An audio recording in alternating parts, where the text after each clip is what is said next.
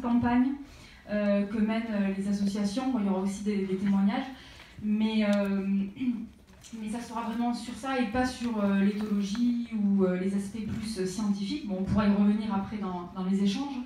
Donc, euh, avant de, donner la parole aux autres intervenants, donc juste pour vous dire, donc, actuellement on mène une campagne d'affichage euh, sur les quais euh, du métro parisien. Donc ça, en fait, c'est l'affiche qu'on souhaitait afficher. Et ça, c'est celle qui est affichée. Alors, quelle est la différence En fait, c'est le logo en bas.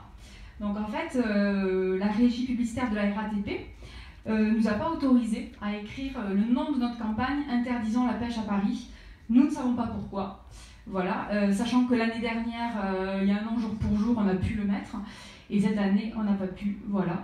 apparemment, ça gêne. donc, du coup, on a rappelé une petite information fondamentale que les poissons souffrent. voilà, donc je vais revenir plus sur cette campagne après. Euh, juste pour vous rappeler, euh, pour vous informer si vous ne savez pas, donc euh, les deux grandes actions qui ont lieu demain, à l'occasion de la journée mondiale pour la fin de la pêche, Yves va en parler plus, mais je voulais quand même les annoncer. Donc il y a 214, non en premier, il y a 269 Live France qui organise le matin, place de la République, donc une action d'information, de sensibilisation sur la pêche. Et puis donc l'après-midi, celle 214, euh, voilà, sur, euh, sur la pêche aussi, bien sûr, mais euh, plus spécifiquement sur l'asphyxie d'un poisson. Bah, Isis en parlera après.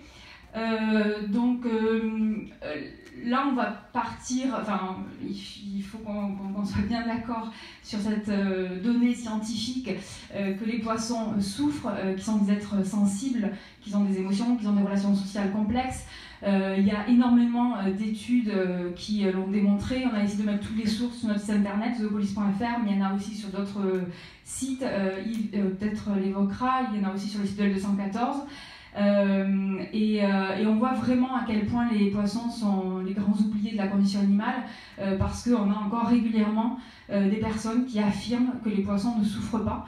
Et voilà, ça commence à être un peu fatigant euh, de constamment le répéter. Euh, il faut quand même savoir que même l'INRA, qui est quand même euh, pas l'institution la plus antispéciste qui existe, a affirmé dans, sa, dans son expertise que les poissons ont un certain niveau de conscience de douleur. Il parle aussi des émotions des poissons.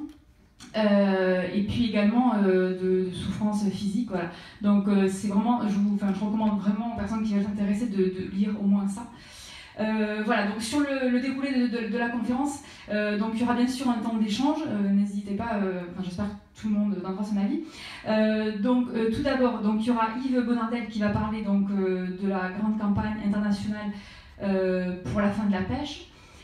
ensuite, donc Isis Labruyère, du service enquête de 214, va parler plus spécifiquement de la pisciculture de l'élevage des truites. Euh, ensuite, euh, donc il y a euh, Mélodie qui est dessinatrice de, que vous pouvez retrouver sur Badgers, qui va parler de son témoignage sur la pêche de loisirs. Moi, j'interviendrai sur les deux campagnes que nous menons, pareil sur la pêche de loisirs. Et puis Ludovic Sieur, qui est photographe et qui a participé aux enquêtes, enfin une enquête qu'on a diffusée, qui témoignera également euh, de ce qu'il a vu et euh, de ce qu'il a pu échanger avec euh, les pêcheurs. voilà, ben, en tous les cas, merci d'être là et puis je vais laisser la parole à Yves.